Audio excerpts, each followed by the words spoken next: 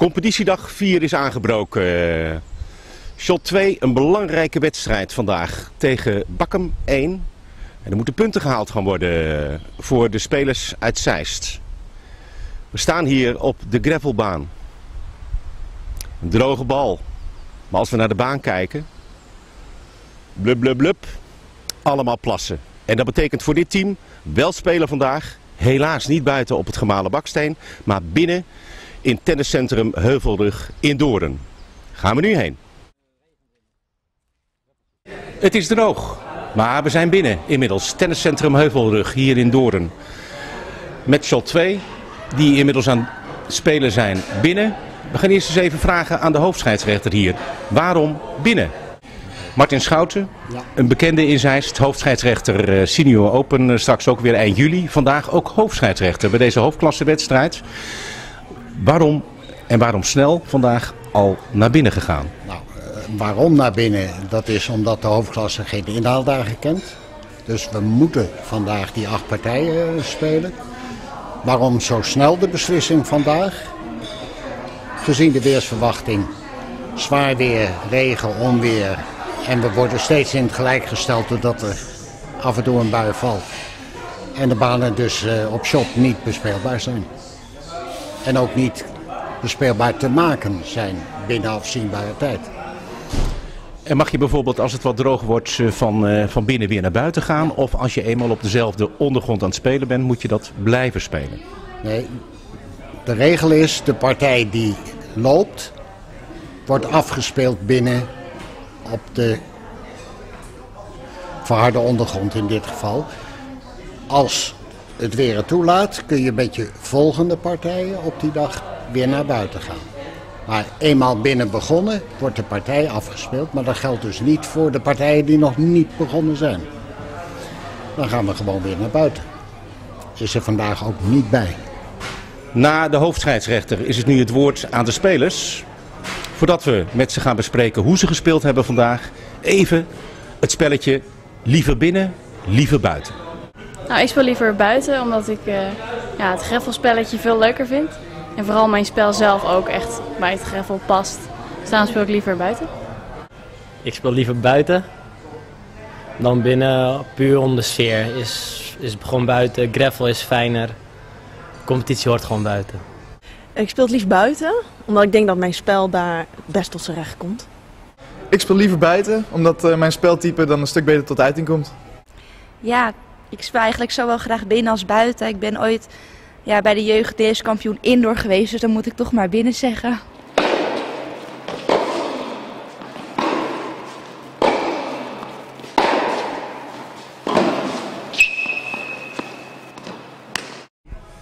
Casper Singel gespeeld. Hoe ging het? Eh, het ging eh, redelijk. Ja, ik vind het altijd lastig om, eh, om weer even te wennen van buiten naar binnen te gaan. Eh, maar voor mijn gevoel ging het niet slecht. Ik heb gewoon eh, goed mijn best gedaan, voor elk punt gestreden. Eh, zeker eerste set ging het gelijk op aan het begin. Een beetje pech werd ik gebroken. En nou ja, daarna werd ik nog een keer gebroken, terwijl ik eigenlijk veel kansen had. Ik moet zeggen, mijn tegenstander speelde heel goed. Ja, hij serveerde ontzettend goed, gaf weinig weg. Dus verder op zijn service games had ik weinig in te brengen. En ik denk dat hij het goed heeft gespeeld. Maar ja, ik heb eraan gedaan wat ik kon. En dit is eruit gekomen. Toch wel een beetje warm gespeeld voor de dubbels. Ja, dat, eh, dat zeker, dat zeker. We gaan het weer proberen. Ik mag weer dubbelen met Suel. Dus eh, we gaan zeker weer ons best doen en eh, we gaan kijken wat we van eh, kunnen maken. Tussen de wedstrijden door zit je af en toe in een boekje te kijken. Je moet van de week eindexamen doen. Ben je iemand die heel makkelijk een knop kon omzetten van even eindexamen naar tennis, naar eindexamen? Ja, dat leer je wel als je zo een beetje dat eh topsportleven hebt natuurlijk. Dan leer je wel dat je gewoon je tijd eh, gewoon nuttig moet besteden. Dus inderdaad tijd tussen de wedstrijden, tussen de trainingen. Dat, eh, dat vind ik wel, eh, is wel te doen voor mij om eh, gewoon makkelijk over te schakelen. Succes vandaag met tennis en van de week met het eindexamen. Dankjewel.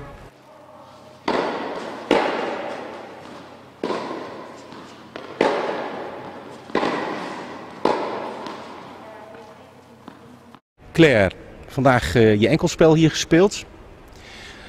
Als we dan kijken eh, in je hele tenniscarrière, eh, hoeveel tiebreaks heb jij gespeeld?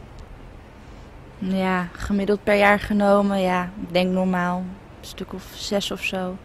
Dat is niet zoveel. Vandaag heb je er in je enkelspel twee gespeeld. Het zat niet mee, hè? Ja, dat zijn jouw woorden. Ja, nee. nee, niet, eh, ja, niet echt, nee.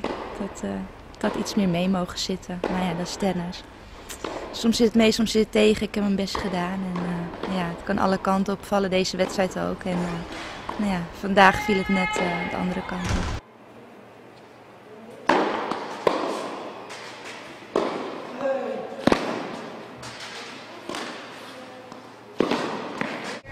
Zowel single gewonnen vandaag in de hoofdklasse, dat moet je een goed gevoel geven. Uiteraard, het geeft een goed gevoel. Uh, ook voor de volgende wedstrijden die nu gaan komen. Hoop uh, gewoon vertrouwen te tanken voor de volgende wedstrijd. Maar vind je zelf goed gespeeld? Ja, lekkere wedstrijd gespeeld, ja. Ja, was, speelde tactisch gewoon slim. Stond er voor iedere punt, dus lekker. En de ondergrond hier in de hal, vind je dat lekker spelen? Ondergrond is lekker. Ik, uh, ik ken Doorn nog toen het tapijt was. Dat is echt, uh, toen ik 11 was, is dat nu al ruim 9 jaar geleden. Is dat te vergelijken trouwens met deze nieuwe ondergrond die hier ligt sinds een paar jaar? Nee, helemaal niet. Nee. Wat is het verschil? Deze zijn gewoon veel fijner. Die anderen waren gewoon, ja, netjes gezegd, niet zo fijn.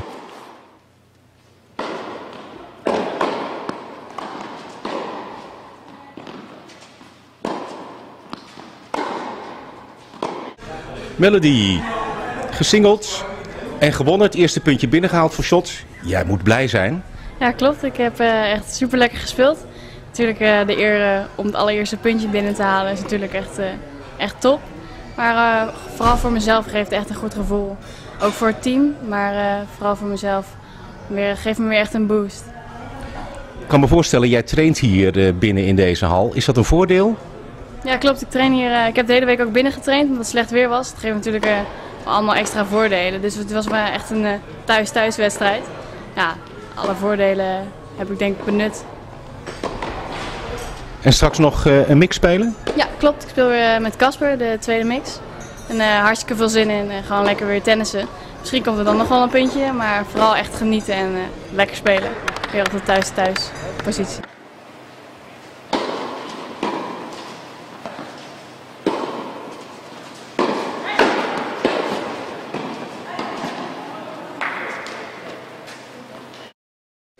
Doreen net een gemengd dubbel gespeeld. Ging hartstikke goed volgens mij. Je ziet er ook blij uit. Ja, ja en wel blij ja. Nee, het ging, uh, het ging echt hartstikke goed. En uh, we hebben echt elke bal goed geraakt en we zaten er bovenop. En uh, ja, ik kan niets meer dan tevreden zijn eigenlijk. Ik ben er heel blij mee. Ja. En nu drie punten totaal gehaald. Wat was je verwachting van tevoren? Nou ja, je hoopt altijd op zoveel mogelijk punten natuurlijk. Maar ik denk achteraf hadden we misschien nog wel met een puntje of 1, 2 meer misschien wel kunnen, naar huis kunnen gaan. Uh, de dames dubbel in drie sets verloren. Had je, had je dat als puntje gerekend? Nou, niet gerekend van tevoren, want ik wist dat het moeilijk zou worden. Maar we hadden er zeker kansen gehad. Um, maar goed, het viel net hun kant op. En uh, nou ja, goed, de single van Claire was natuurlijk jammer, tijd, twee tiebreaks. Um, dus ja, nou ja, één of twee puntjes meer had, was leuk geweest, maar we hebben eerst drie punten te pakken. En uh, vanaf hier uh, moeten we gewoon verder. Niels, eind van de rit, belangrijke dag, ook voor de punten. Het is 3-5 geworden, dus 3 voor shots. Ja. Wat was jouw verwachting eigenlijk van tevoren voor deze dag? Nou ja, verwachting was uh, een beetje meer de hoop eigenlijk dat we wel wat uh, puntjes zouden kunnen gaan halen. Mm -hmm. um, maar goed, uh, je, je, weet nooit hoe het loopt uiteraard. Maar ik ben blij dat we in ieder geval nu van die hatelijke nul af zijn. En dat we drie potten gewonnen hebben. Dat hadden er meer kunnen zijn. Maar nou, over het algemeen tevreden met de drie behaalde punten. En vooral met het spel. Met, goed gespeeld. Maar we beginnen even met naar de singles. Was het 2-2? Had ja. je dat verwacht? Ben je daar tevreden mee? Um, ja, had ik wel verwacht. Had ik wel verwacht. De damessingle van Claire, die, uh, nou, daar wisten we van het zou zwaar worden. Dus dat kan uh, alle kanten op. Ze heeft de kansen gehad, helaas niet kunnen pakken. Maar uh, wel gevochten, goed gespeeld denk ik. en um, andere single, damessingle van Melody. Ja, daar was ik toch wel heel enthousiast over dat ze die kon winnen. Dat ging heel goed. Dus dat was een, nou, een mooie meevallen in die zin heren singles ja, wist ik niet. Uh, ik wist dat de tegenstander van Casper zwaar zou worden. Mm -hmm. uh, andere jongen waar Souhail tegen speelde, kende ik niet. Maar die won uh, vrij overtuigend, dus was goed. Dus nou, 2-2 uit de singles, ik denk, ja, logisch. Nou. En dan een van de vier dubbels winnen. Had je op meer, ja, gehoopt altijd, maar Had je op meer gerekend? Want je ziet, de heren en damesdubbel allebei in drie sets verloren net. Nipt. Ja, nou, ik had met name bij de damesdubbel had ik echt goede hoop eh, dat we die ook zouden pakken. En dat zat er ook zeker in. Alleen, ehm, ja, de, de, de spirit die er uh, vooral de eerste set was, uh, die ontbrak een beetje. En het was toch lastig om, om dat er weer in te krijgen. Tegenstanders gingen wat beter spelen, dus konden we net niet naar ons toe trekken. Dus dat was jammer. Herendubbel was denk ik moeilijk, jongens goed gespeeld. En in de mixen, ja, allebei een puntje. Ik denk dat het, nou, gezien de dag zoals die vandaag was, wel oké is. Een tennisdag achter de rug met shot 2 hier in het tenniscentrum Heuvelrug. Drie punten gepakt. Was misschien gehoopt op wat meer. Maar in ieder geval de eerste drie punten zijn binnen. De uitslag van shot 1 komt eigenlijk net binnen. Die hebben met 6-2 gewonnen van Heer Hugo Waard. Daar zijn we komende zondag trouwens weer. We sluiten graag af met een hele bijzondere achtergrond. Kijkt u maar. Een historische achtergrond hier in het tenniscentrum in Doorn. Fantastisch. Bedankt voor het kijken. Graag tot komende zondag als we weer in Zeist zijn bij Shot 1.